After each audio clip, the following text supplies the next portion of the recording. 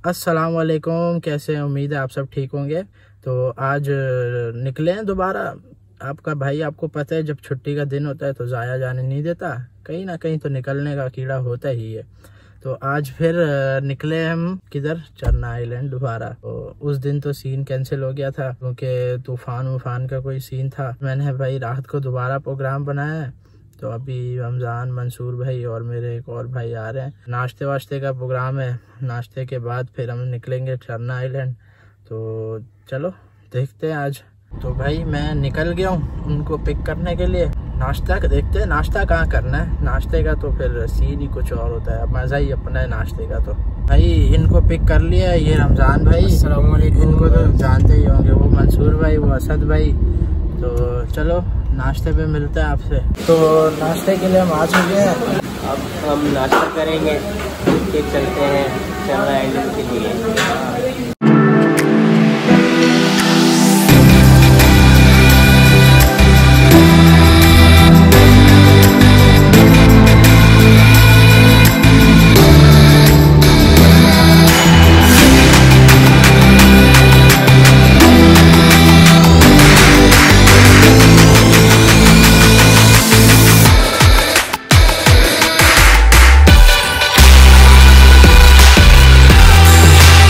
हमारा नाश्ता आ चुका है भाई।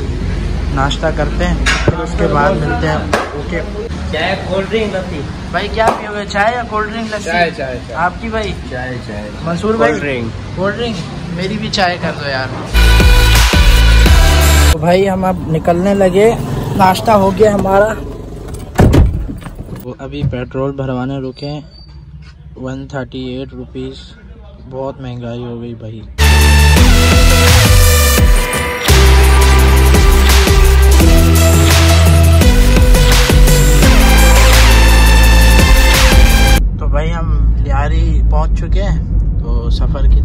के अभी निकलते हैं। तो आपका भाई हर बार की तरह हफ़्ते एतवार को लाजमी लियारी एक्सप्रेस वे को सलाम देते हैं। क्यों? मेरा फेवरेट रोड है। यहाँ आपका भाई हर एतवार हफ़्ते एतवार लाजमी आता आता है।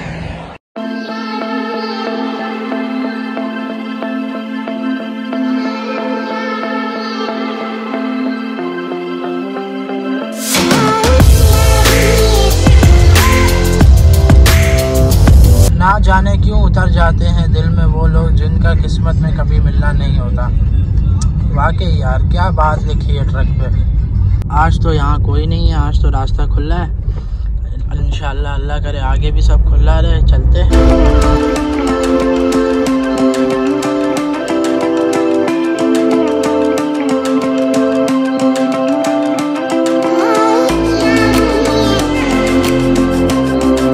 तो माशाल्लाह भाई, हम चरना के आधे रास्ते तक आ चुके हैं। सस्ता हुंजा लग रहा है, माशाल्लाह, क्या बात है।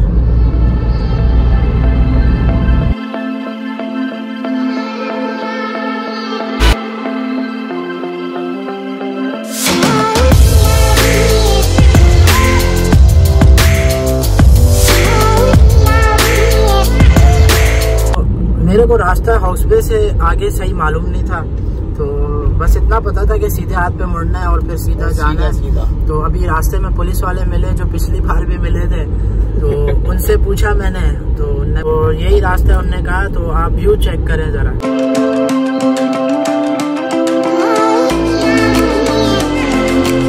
बहरहाल हम बहुत जल्द पहुँचने वाले हैं। लास्ट टाइम तो सीन ऑफ़ हो चुका था लेकिन इस दफ़ा हमने बोला कुछ भी करके जाना है। भाई आपको पता है जब आपका भाई एक चीज़ के पीछे पड़ जाए तो फिर वो करनी लाजमी है। बिल्कुल बिल्कुल।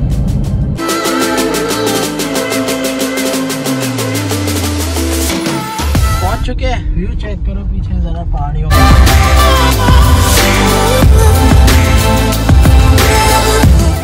तो हम ये आए हैं सुनहरी बीच इसको कहते हैं। पैराडाइज पॉइंट से थोड़ा सा पहले यहाँ पे लोग फिशिंग वगैरह करते हैं ये देखें। ये है फिशिंग पॉइंट यहाँ लोग फिशिंग करने आते हैं। ये भी काफ़ी प्यारी जगह है। ये पैराडाइज पॉइंट से पाँच दस मिनट पहले आता है।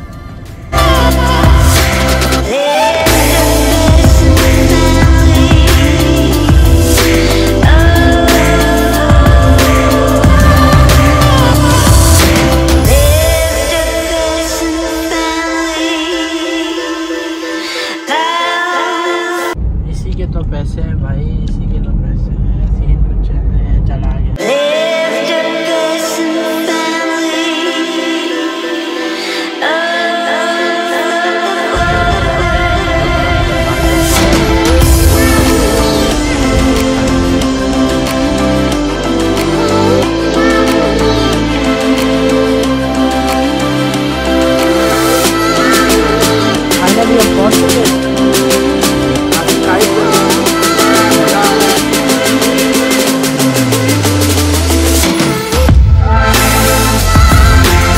चन्ना आइलैंड मुबारक विलेज का एक ये सीन अच्छा है कि यहाँ लाइफ गार्ड्स और लाइफ सिक्योरिटी होती है।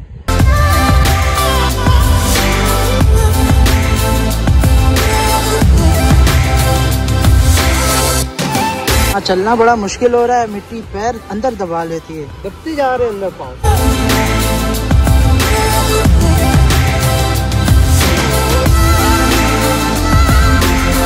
माय फेवरेट ड्रिंक स्टिंग खोल ली हमने अभी।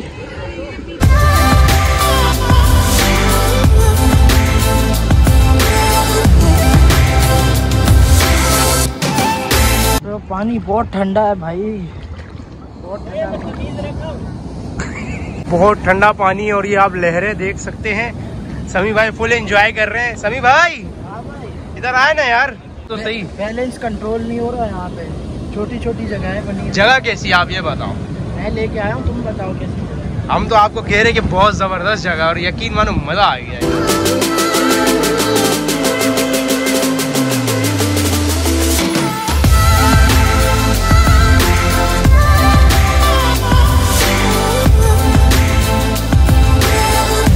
जगहों पे ये क्रैब्स का ख्याल रखा करें, ऐसी चीज़ें होती है जो नुकसानदेह होती है।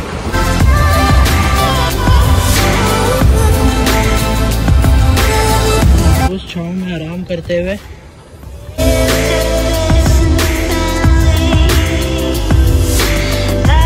यहाँ पतंग उड़ा रहा है। हमने बच्चे से पतंग लिए थोड़ी देर उड़ाने के लिए, ये सभी भाई। भाई, कोई नहा लिया? कपड़े भी चेंज कर लिए निकले फिर अभी? हेलो। निकलते हैं फिर इंशाल्लाह मिलते हैं नेक्स्ट पाँव वाँव साफ़ करके निकले।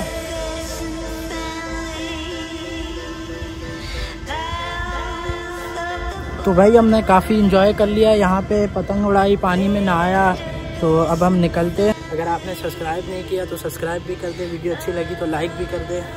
तो इंशाल्लाह मिलते हैं नेक्स्ट व्लॉग में। ओके अल्लाह हाफिज़।